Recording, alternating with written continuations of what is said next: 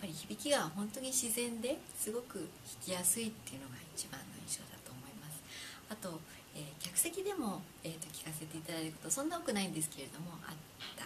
記憶があるんですけれどもその、えー、結構大きいホールだけれどもそのステージからそんなに遠すぎず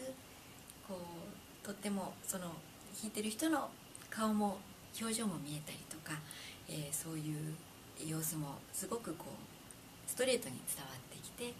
えー、多分聞く方も弾く方もすごくあの心地よく自然にあの弾けるとっても素晴らしいフォルだと思います。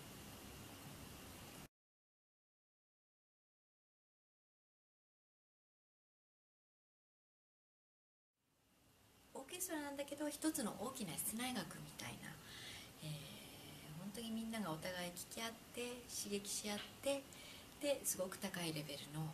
え、音楽を作っていくっていうのがとってもあの印象的です。そして、えー、ロベルトさんはそのみんなをリードしていく、え、立場にあるんですけれどもその彼も本当にみんなと一緒になって細かいところにまであの繊細なところにまで気を使って音楽を作り上げてでも最終的に出てくる音楽はとってもこう自然な流れの音楽っていうのが素晴らしいなというかあの一緒にやってて本当にいつも楽しいあの時間を過ごしています。